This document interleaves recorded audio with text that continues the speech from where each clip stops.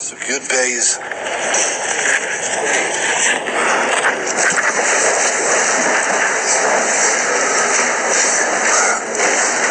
Bilam uh, wants to set on his journey to to curse the Jews.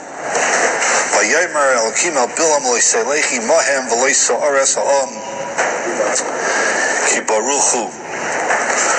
Shalom tells him, no, you cannot go. You can't go with them. You can't curse the people. Ki baruchu. It's a very interesting Rashi. Rashi says. When the Rebbe Shalom told Bilam, you can't go, Omar loy im kain. Okay, Rebbe Shalom, fine, I won't go. But let me give a long distance klola. I'll stay here, I'll curse them from here. Omar loy, That's how Rashi explains the progression over here. First he tells him, don't go. Bilam says, okay, fine, I won't go. Let me curse him here. To Rebbe no. Uh, Ha'am. You can't curse them. Not from there, not from here. Omar loy im kain avarchem. Well, if I can't curse them, let me least give them a bracha. Omar loy in and svichen lebirchasecha. Hashem said, I don't need your bracha. Ki baruchu. Because they're benched already. Mashal oimrim Litzira loimidu sheikh v'loimuk tzeich. So machem litvira. This is what people say to the bee.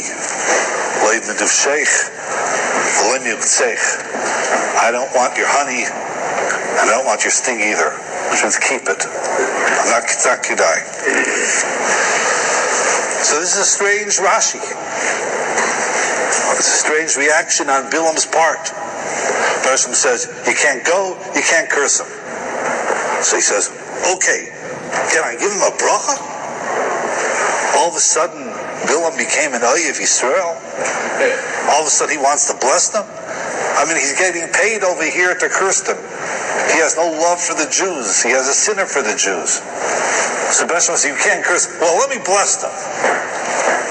What's Bilam's Havamina? What does that mean? Do you really mean that I want to give him a bracha? So I saw an interesting ha'ara, interesting pshat in the Sefer Shemen HaTayv of a Dov Weinberger.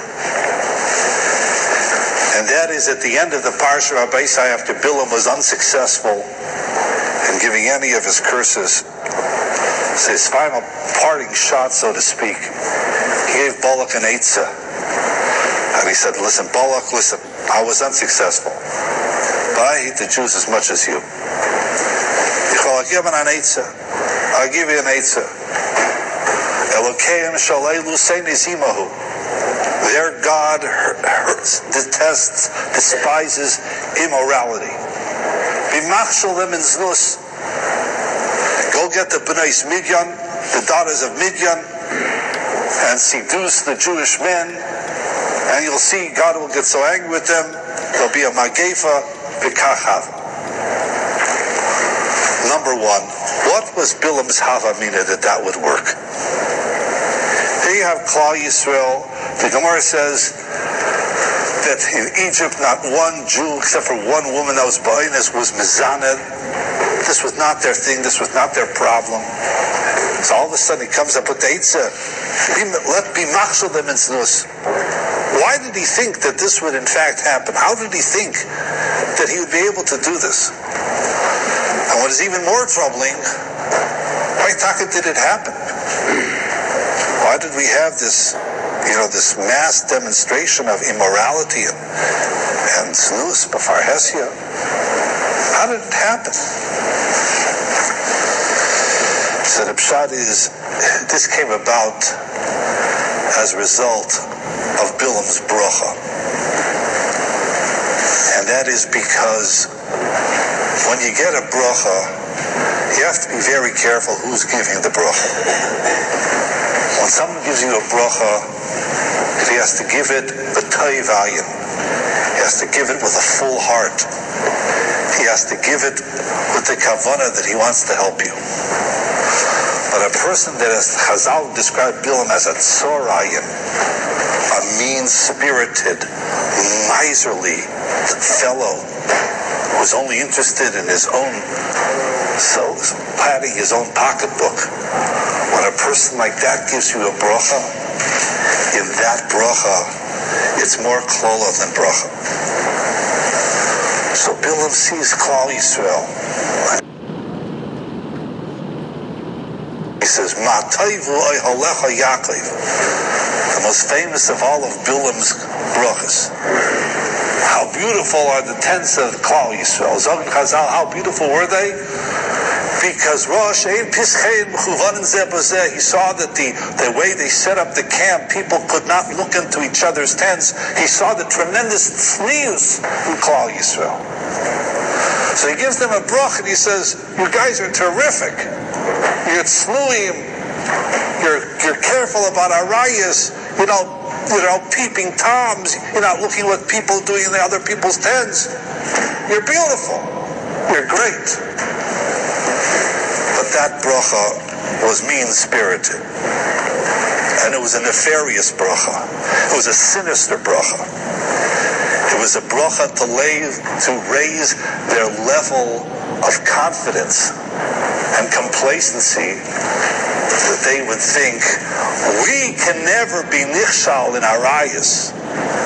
Because look, even this guy Bilam looks at us and he says, Matayva Yaakov, see how tznuim they are how modest they are, how they don't engage in this type of immorality. When people feel complacent, so then complacency comes before the fall. So when they met the Benos Midian, and their reaction should have been, well, listen, we got to stay away from this. We don't know what could happen. So something went off in their head, they said, nah, what do you have to worry about? You're from a Yid. You're tzaddikim. We're tznuim. Even Bilam thinks we're tznuim. You don't have to worry. And then what happened? Bilam was successful in raising this level of complacency that eventually, in fact, they were nichshal.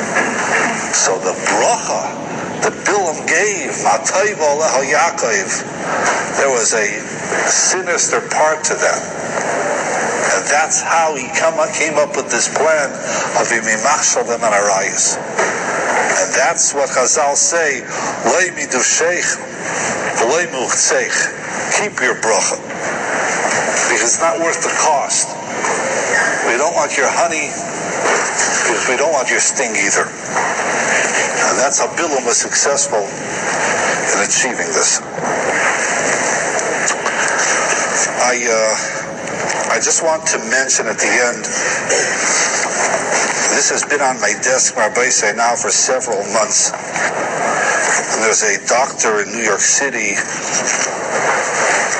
who has asked me to speak about this, and I told him that if it comes up somehow, I will try to speak about this. The name of the doctor is Dr. Leon Zacharowitz. I don't know if I'm pronouncing the name correct, but he is a neurologist in New York City. And he's asked me in the past to speak about this, and as I mentioned, I didn't find a way of, of, of making it relevant. But unfortunately, something has happened that now at least, uh, unfortunately, it's too late to do anything about it. And that is that there's a case in Canada, in Winnipeg, Manitoba,